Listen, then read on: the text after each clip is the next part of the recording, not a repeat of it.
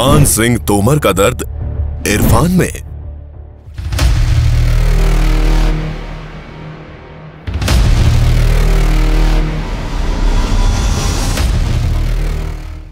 पान सिंह तोमर पर बने हमारे पिछले वीडियो की दर्शकों ने बहुत सराहना की। इसके लिए आप सबका हम तहे दिल से शुक्रिया अदा करते हैं।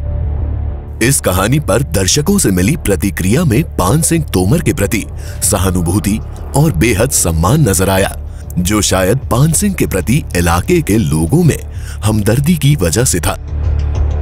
लेकिन ज़्यादातर दर्शकों ने ये सवाल भी उठाए कि क्या पान सिंह तोमर को बचाया जा सकता था? क्या डाकू बनने से पहले पान सिंह के साथ न्याय किया जा सकता था? ऐसे क्या हालात रहे कि पान सिंह तोमर को बीहड़ का रास्ता चुनना पड़ा? क्यों पुलिस और प्रशासन पान सिंह तोमर को समाज की मुख्य धारा में नहीं ला पाए? पान सिंह तोमर एक सैनिक था, जिसने देश की रक्षा के लिए बंदूक उठाई और एथलेटिक्स जैसे खेल में कई पदक भी जीते। लेकिन हालात ऐसे बने कि देशवासियों की रक्षा करने के लिए उठी बंदूक निर्दोष लोगों की जान लेने लगी। हमने भी पान सिंह तोमर के बारे में और खोजबीन की और ये पता किया कि अगर उसके साथ न्याय किया जाता तो वो बीहड़ में कूद कर एक बागी बनने की बनीस्बत एक अच्छा नागरिक बन सकता था। डाकू मलखान सिंह की तरह कई दस्यु चंबल में सक्रिय रहे। उनमें से कुछ आज भी अपने कामों के लिए जाने जाते हैं। जिन बागियों ने अंग्रेज़ी हुकूमत के दौरान बंदूक उठाई थी, उन्हें जनता का भरपूर सहयोग और प्यार मिलता रहा।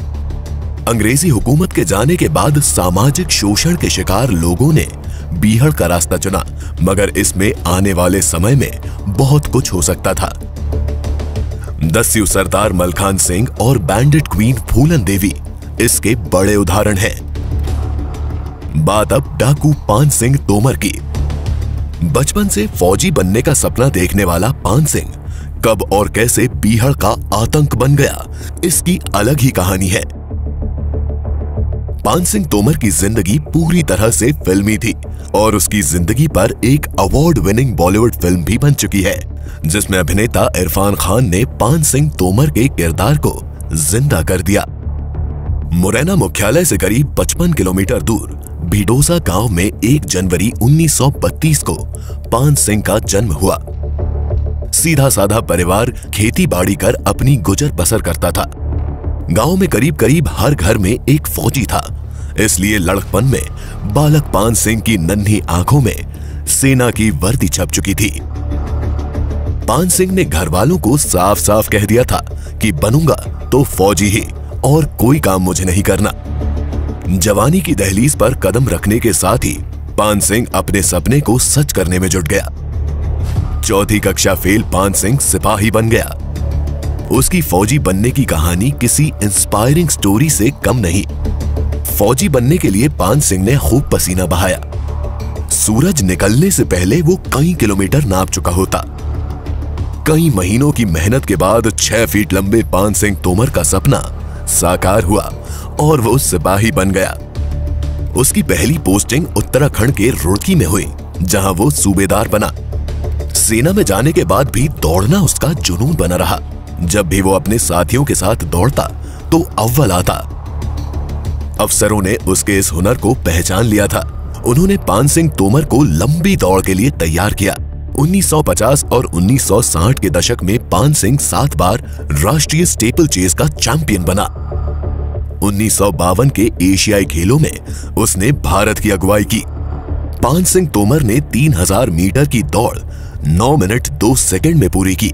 ये ऐसा रिकॉर्ड था, जिसे दूसरे एथलीटों को तोड़ने में 15 साल लग गए।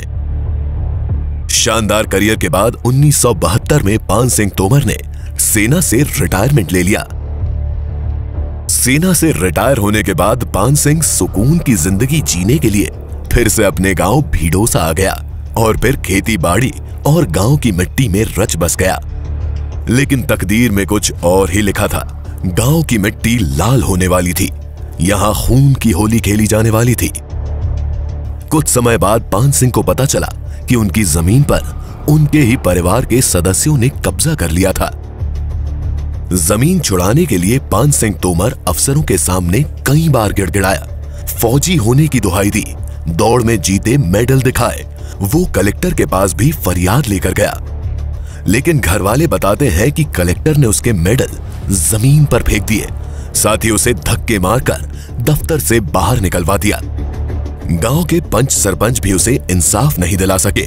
पान सिंह तोमर की कहानी पीढ़ा, अन्याय और विद्रोह की कहानी है, जो अंततः क्षेत्र के सबसे कुख्यात डकैतों में से एक के उत्थान और पतन का कारण बनी। चंबल घाटी के जानलेवा बिहड़ों में पान सिंह तोमर की यात्रा अन्याय के इतिहास से शुरू हुई। भिडौसा में जन्मा वो एक सैनिक और प्रतिभाशाली एथलीट था, जिसने भारत को प्रशंसा दिलवाई थी। हालाँकि उसके जीवन में एक अंधकारमय मोड़ तब आया, जब उसे प्रभावशाली लोगों के हाथों से उत्पीड़न और अन्याय का सामना करना पड़ा। अपने ज़मीन विवाद के लिए न्याय मांगने के बावजूद उनकी गुहार अनसुनी कर दी गई।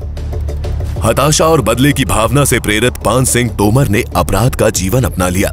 डकैतों का एक गिरोह बनाकर उसने चंबल क्षेत्र को आतंकित करते हुए डकैती और अपहरण का सिलसिला शुरू कर दिया। सरकार की कथित असंवेदनशीलता और सहयोग की कमी ने उसे अपराध के रास्ते पर और धकेल दिया। फ़िल्म निर्माता तिग्मांशु धूलिया ने पान सिंह तोमर में एक सम्मोहिक कहानी देखी, जिसे जनता को बताया जाना ज़रूरी था। उनकी फ़िल्म पान सिंह तोमर इस जटिल चरित्र के जीवन पर प्रकाश डालती है। फ़िल्म बनाने की प्रक्रिया के दौरान अनोखी जानकारी सामने आई, जिससे पान सिंह तोमर के जीवन और प्रेरणाओं के बारे में गहरी जानकारी मिली। फ़िल्म के मुख्य अभिनेता इरफान खान, जो अपने मेथड एक्टिंग के लिए जाने जाते हैं, पान सिंह तोमर के किरदार में इतनी गहराई में उतरे कि वो इस भूमिका से भावनात्मक रूप से प्रभावित हो गए। फ़िल्म निर्माण के दौरान उनके समर्पण और पीड़ा ने चरित्र में प्रामाणिकता और गहराई जोड़ दी। जैसे जैसे पान सिंह तोमर की किंवदंती बढ़ती गई, ये सवाल उठाया गया कि क्या उन्हें डाकू के जीवन से बचाया जा सकता था? क्या मुक्ति के लिए कोई वैकल्पिक रास्ते थे? ये वीडियो उन संभावनाओं की पड़ताल करता है, जिन्होंने इतिहास की दिशा बदल दी होगी। अंत में पान सिंह तोमर एक जटिल व्यक्ति बनकर रह जाता है।